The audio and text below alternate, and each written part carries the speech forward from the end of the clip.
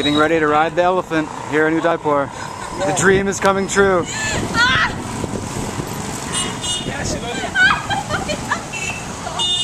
Climbed up on the wall.